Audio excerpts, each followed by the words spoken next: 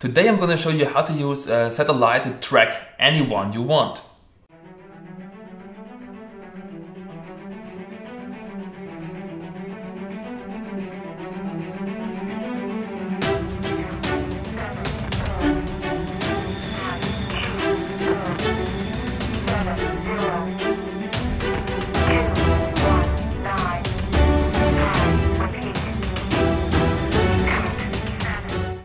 Okay guys, welcome back to another episode, yeah, here on Sam's Creative Toolbox. Like always, my name is Sam. And like I said in the intro, today I'm going to show you how to use a satellite to track anyone you want. So if you ever watched a spy video like Jason Bourne, Iron Man, or whatever, they always have these super cool animations where they can, from space, track anyone in a city, in a house, wherever they go. So today I'm going to show you how to do that in After Effects. I will show you how to animate a satellite or a crosshairs effect across a, uh, yeah, a landscape, across a map, and then how to zoom in in a very, very cool way. So yeah, like always, let's be in After Effects and have some fun.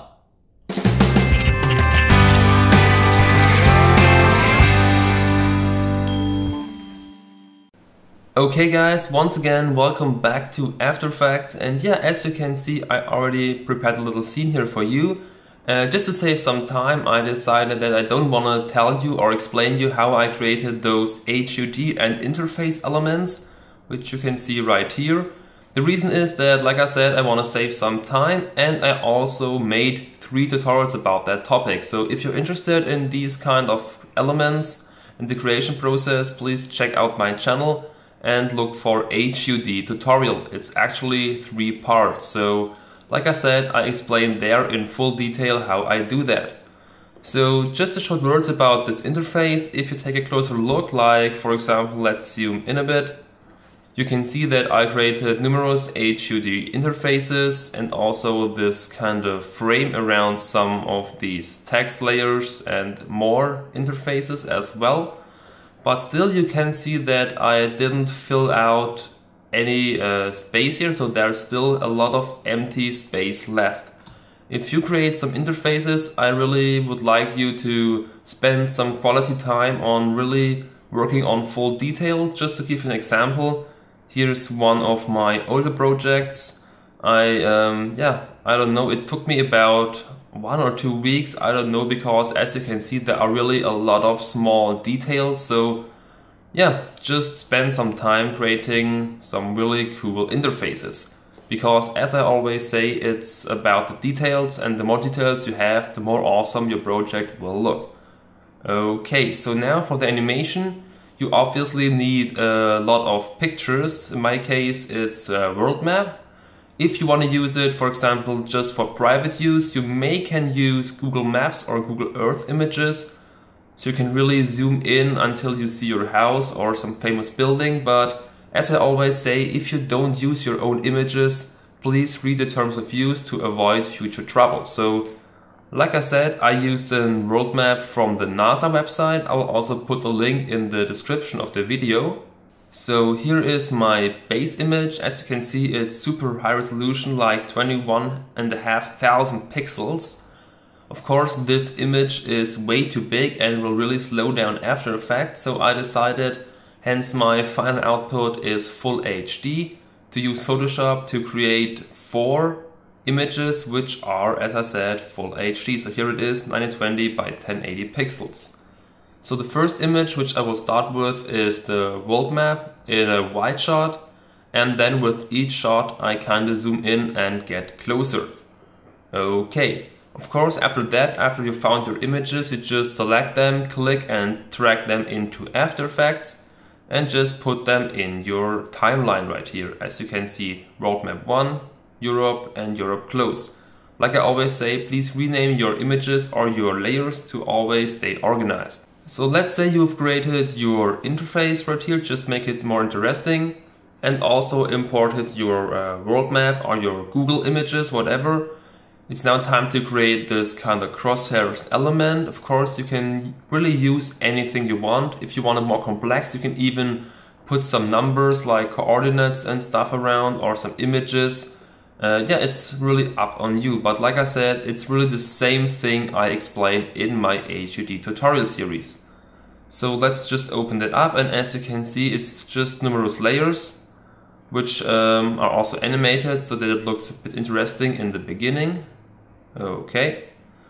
So this is really our, um, our base blade where now we can start animating our satellite zoom effect.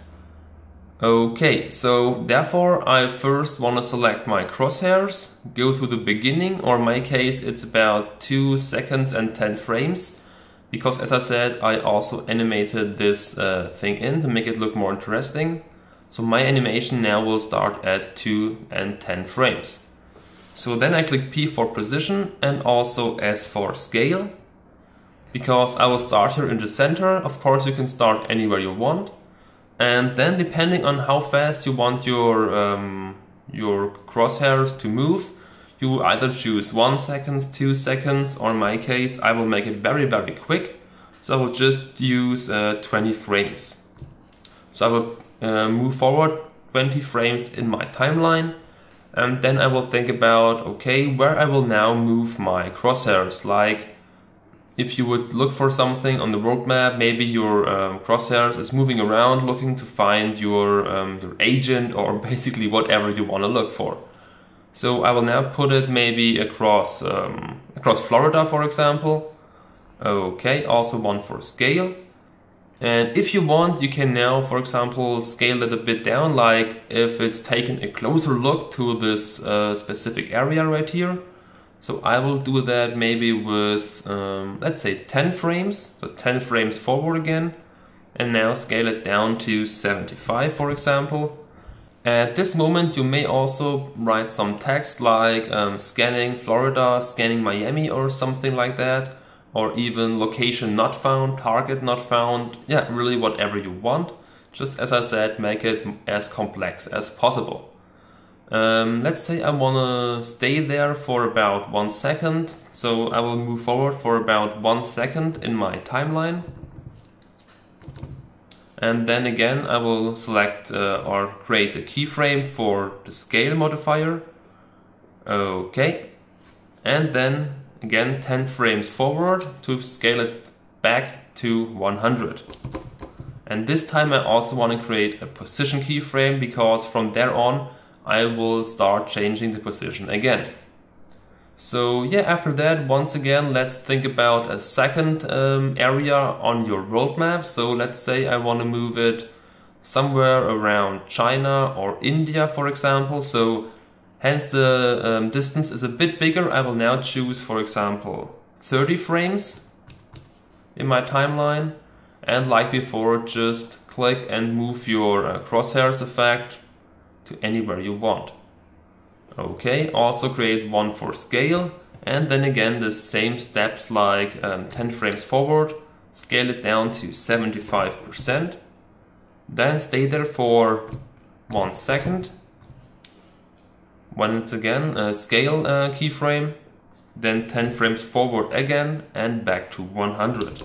So it's really always about the same uh, pattern right here once you found your perfect timing and your locations, it's really about finding the perfect speed. And then it's always yeah, really about uh, copying or doing the same steps over and over again. So let's say I only want um, two movements before I reach my destiny. So of course you can um, really do that forever. Like look here, look here, look in South America, look in South Africa, Australia. Really move your crosshairs around. But as I always say, to save some time I will only now do two movements, then again 20 seconds forward and now move it somewhere um, around Europe. So maybe just in the heart of France, in the heart of Germany. Okay, and then once again 10 frames forward, scale it down to 75. But this time I will stay there because now I want to animate or I want to make a transition from this world map to the next closer one. But before we do that, let's click on our crosshairs layer and hit Ctrl D or go to Edit and Duplicate. And then just click and drag this crosshairs number 2 on top of your second image. Because later on we want to use the same um, pattern as before, only for your second image. Okay, so let's say you want to stay there for about one second. So let's move again forward for one second. Okay. And then I also want one second as transition. So once again, one second forward in your timeline. Then I want to trim down my um, two layers to, to stay organized. But before I also trim down my um, second uh, image layer, I will first select my number one image and my number one crosshairs effect and go to composition or sorry layer and recompose. And um, let's move that in the center right now and call it let's call it world map number one for example. Click OK.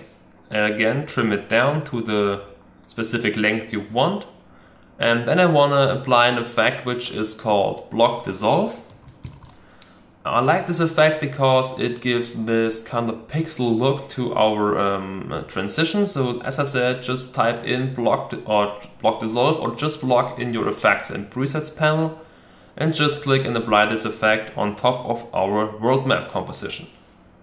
Okay.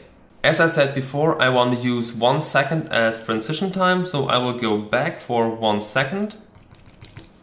Okay and then I will click on transition completion because it starts at zero and if I now go forward for one second again this is our end position and now let's bring it up to 100 um, to just play around with these values I would recommend to just go in the middle section where we have the most amount of pixels and as you can see we have many, many small pixels. Of course, now they are set to 1, which is, in my opinion, way too small.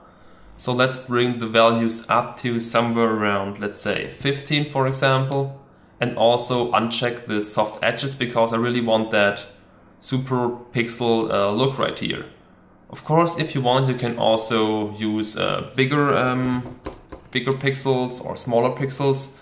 I usually like to have smaller pixels because, as I said, they look a bit more detailed. Okay, and now if we move forward in our timeline, we can see that our image is now visible and eventually it, it transitions into our second image. And yeah, I think that really looks kind of great and fits to this overall um, animation style of this satellite zoom effect. Okay, so after that, it's really now time to reset our crosshair. So let's go to the end of our animation right here. Hit U to open up the settings and also delete all of your keyframes. Let's bring the scale up to 100. And if your crosshairs is somewhere in the corners, just right click, choose transform and then go to center in view. And now it's uh, yeah as in the beginning perfectly centered and scaled up to 100 so after the transition is finished it's now time to yeah to kind of recreate the same pattern as before. So let's also click on those keyframes.